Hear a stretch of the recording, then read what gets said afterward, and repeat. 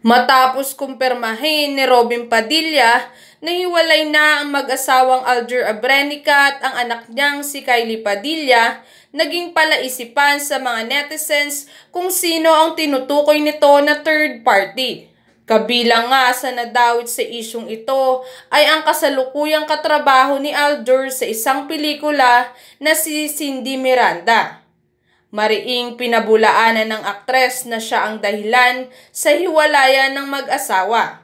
Ang dating miyembro ng grupong Girltrends na si Micah Rivera ay hindi din pinalampas ang pandadawit sa kanya sa issue.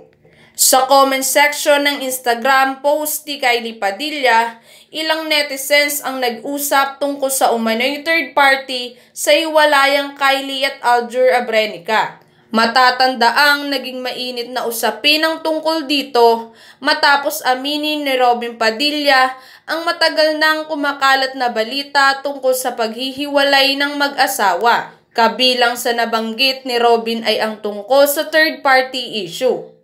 Bilang katrabaho niya sa isang bagong pelikula, hindi nakaligtas si Cindy Miranda sa issue.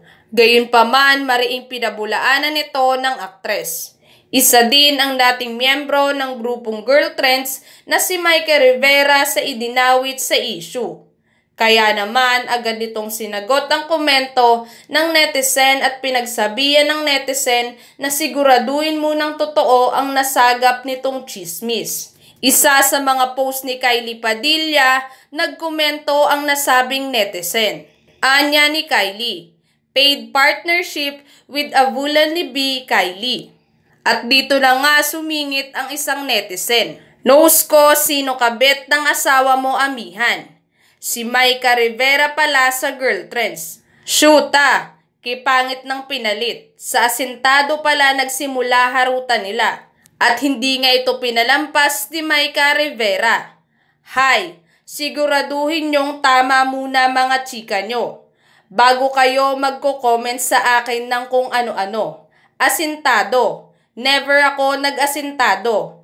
May God bless you all. Matatandaang nag-ugat ang paglabas ng balibalitang may problema ang mag-asawa matapos mapansin ng netizens na halos burado na sa Instagram ni Kylie ang mga litrato ni Aljur. Marami din sa kanyang post ang tila may kaugnayan sa pinagdadaanan nila ni Aljur ngayon.